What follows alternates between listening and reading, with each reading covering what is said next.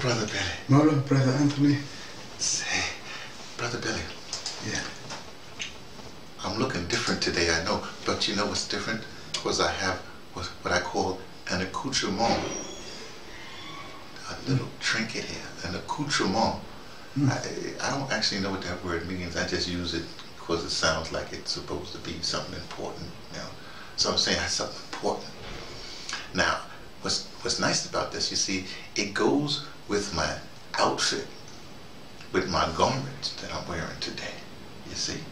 Now, my grandmother would be proud because you know when I was a kid going to school, you know, we would go out and sometimes we wouldn't be matched up, and she'd say, "Boy, where you going looking like that? Get back in there and put some." You know, we had to coordinate ourselves. You know, same was a big thing. So from from childhood, I had to always coordinate myself. Things have to go with each other, you know. But let me tell you, I got this accoutrement.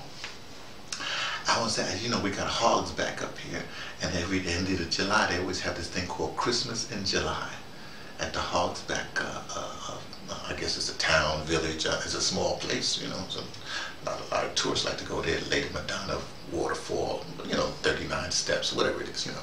Anyway, they had the thing, and there was this guy there, you know, and he and he had a whole lot of like American Indian stuff. You know, we got to talking because he saw my, uh, my my red cloud button that I, I have. Anyway, so we got to talking, and I said, well, you know, well, uh, what's your what's your heritage? You know? He says his his great grandfather was a from the from the uh, uh, uh, Seneca Nation, I think it was. Was this no the Seneca Nation up there in New York? And it ended up that you know grandfather went uh, somehow got anyway. He's from he's from of the, that's that's on his, his his paternal side, his, his his father's side.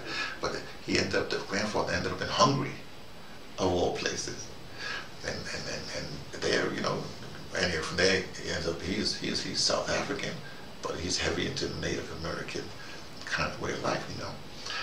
And so we got to talking, and I was talking about the Red Cloud thing and how I got it and everything like that. This American Indian, you know, uh, you know, from the Lakota Nation gave it to me, and and then you see, I said, but you know, I had the strange thing that I had to do something for the Lakota Nation.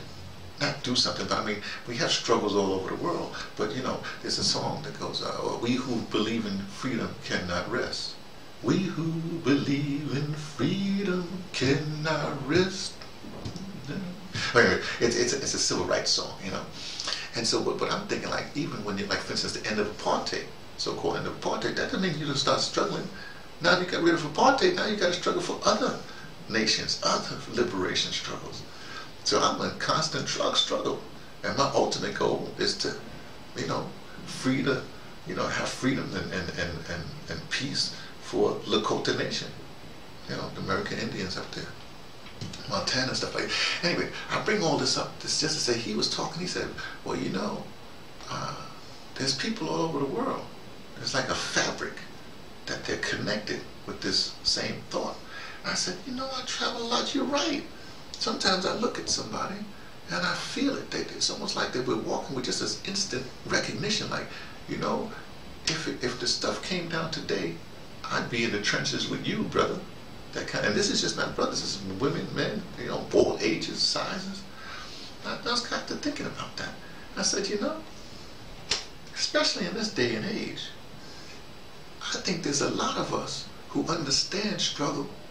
And you know, we, we're not going to go out there and, and, get ourselves, you know, obliterated. But there's a lot of struggle going on in the world today because the forces aligned against struggle. They they've had a lot of a lot of times to put their little stuff in place. And I've been reading for a long time. I mean, remember when I was a again when I was a kid, you know, my grandmother I used to read a lot, and I read this book, and they were saying how like in the 20s, it was a novel, how in the 20s, like the I'm gonna say the forces, let's, let's call them the colonialists, the colonial forces. Uh, were, were, were, were, were putting stuff in place, bankers and stuff like that, to basically uh, fleece the system, what, what they call these days the game system, you know. And this has been the 20s. They've been going on, going on. This whole thing that's happening in the United States right now. I'm going to tell you what's going on. There's a, when the, when the, when the slaves, you know, were free, you know, the, the thing called the 14th Amendment, the forces that aligned that wanted to game the system back then made it so they slipped this thing there where corporations would get recognized in a certain level, you know.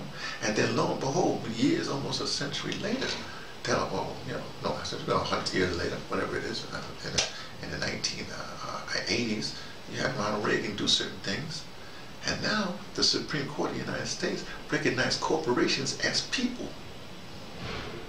So everything's in place for the powers that be or, or that want to be to fleece the system.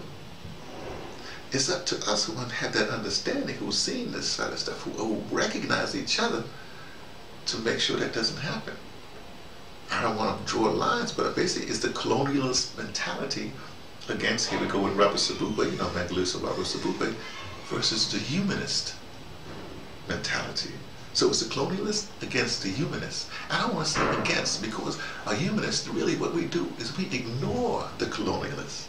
What we do is we have our agenda, we have what we need to do, and we stay on it. We don't be distracted. We're not distracted by the colonialist uh, uh, uh, stuff that they be doing, the mamby-pamby stuff that they be doing. We don't ignore that. We stay on course. And sooner or later, because we're on course, we just knock them out of the way. It comes to what we call a critical mass. You see, the colonialists will not win because we who believe in freedom will not rest. That's what I believe. As an audio dramatist, I can put that in an audio drama. I can show the path in the audio drama so people understand what's going on. And anyway, this is one of those dispatches from the arts director emeritus said that would be me, T, uh, the humanist, taking the train to Tibet, letting you know what I only suspect. Yeah.